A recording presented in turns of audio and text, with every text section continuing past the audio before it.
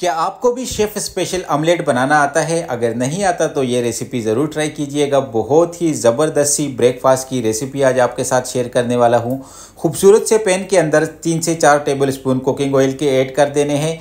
दो medium size के आलू लिए हैं, एक से दो मिनट के लिए इसे कुक कर देंगे। साथ में ही एक मीडियम साइज़ की प्याज, इसको भी एक से दो मिनट के लिए हमने कुक कर देना है। साथ में दो मीडियम साइज़ के टमाटर लिए हैं, इसको भी एक से दो मिनट के लिए कुक करके कवर कर देना है। तीन से चार मिनट के लिए मीडियम फ्लेम पे। तीन से चार मिनट के बाद जब ये सारी चीज़ें हल्की सी कुक हो जाए तो इसी के साथ शामिल कर देंगे चार अदद अंडों का।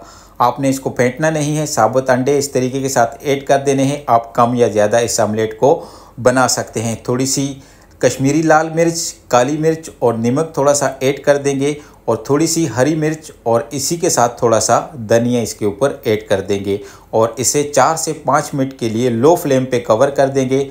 चले जी, माशाल्लाह से हमारा शेफ़ स्पेशल ऑमलेट यहाँ पे बन के हो गया है तैयार।